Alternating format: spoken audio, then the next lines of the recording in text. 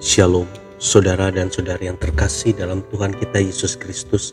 Marilah kita luangkan waktu beberapa menit untuk berkencan dengan Tuhan saat ini, agar dari hari ke hari kita semakin dekat dengan Tuhan, sehingga hidup kita semakin diberkati dan menjadi berkat.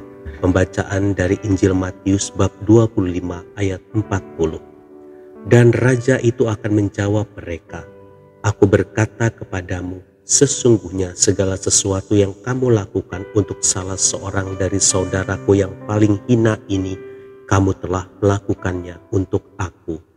Demikianlah sabda Tuhan, terpujilah Kristus.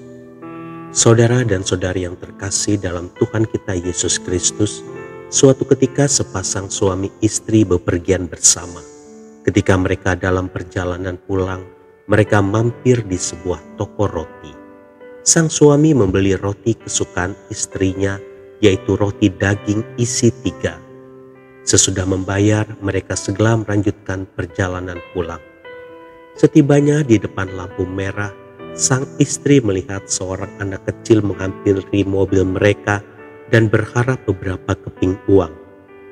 Sang istri langsung menolaknya namun tanpa disadarinya, sang suami memotong roti isinya dan menyuruh istrinya memberikannya kepada gadis kecil tadi.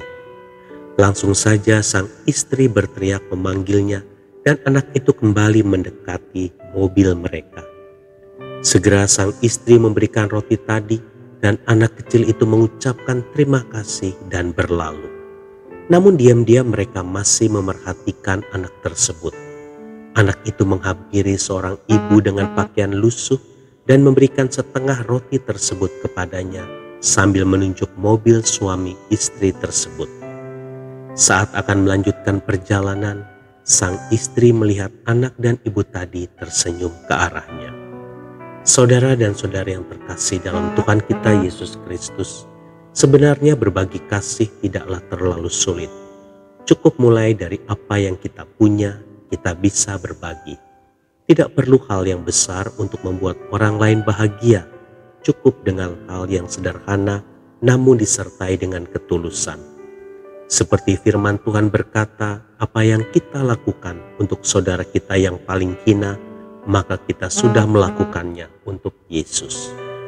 Saudara dan saudari yang terkasih dalam Tuhan kita Yesus Kristus, jadi di mana pun kita berada, entah di sekolah, di lingkungan kerja, di lingkungan pelayanan, bahkan di mana pun, mulailah menjadi berkat untuk orang lain. Maka kita akan melihat orang lain berbahagia dengan apa yang kita perbuat. Karena yang membuat kita menjadi orang hebat bukan karena kita melakukan hal-hal yang besar dan luar biasa. Namun yang menjadikan kita hebat adalah di saat kita melakukan hal-hal yang kecil namun dengan kasih yang besar. Tuhan Yesus memberkati. Marilah kita berdoa dalam nama Bapa dan Putra dan Roh Kudus. Amin.